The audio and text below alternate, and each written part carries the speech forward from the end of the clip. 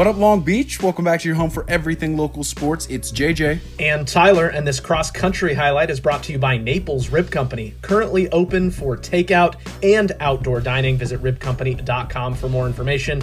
This game of the week is brought to you as part of our partnership with the Long Beach Post. Moore League giving up inactivity for Lent. It's Ash Wednesday, and after 11 months, we've got Long Beach High School sports back in the form of Moore League Cross Country Wilson visiting Millikan, and their new track and field. Yeah, DeHaven Stadium has never looked better, JJ. This is a three mile track through the halls around the baseball field. We're getting a nice tour of Millikan's campus and, and, a great turnout for all levels and some really cool vantage points for parents and family members, limited family that could come watch their kids compete. It was great to see. The varsity boys get the marquee race going in the afternoon. Millikan Rams trying to send a message to the rest of the league, and Wilson looking for a good result to set up a good league run, and we're off.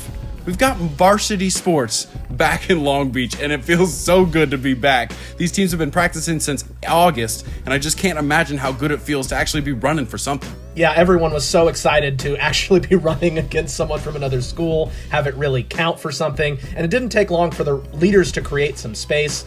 Uh, after that first lap, Millikan freshman Jason Parra way out in front and just continuing to pull away. The chase pack navigating around the bungalows and onto the baseball field. It's three laps around campus. They're about a mile each lap, and such interesting shots through the campus. Parra, he's a freshman. He doesn't even know where he's supposed to hang out on Millikan's campus yet, and he's going through it. And the lead really got longer as the race got a little bit longer. The freshman making himself at home, and it was home course advantage here as the Ram underclassmen able to cheer on the leaders as they come around back on the track where the finish line also was, and it's going to be Parra in his first high school race ever taking the win at 15:24. Yeah, he said his main goal was to be under 15 minutes, but he'll take the win. So he's got lofty goals as a freshman. Scott Kirchhoff in second, 15:37. In third, the Million Dollar Man, Sebastian DiBiase, 16:09, and the top finisher for Wilson, Jack Wade, the senior, checking in at 16:20. And now it's time for the girls' race to close it out. JJ. The champs are here. Millikan coming off their first league title since 1993,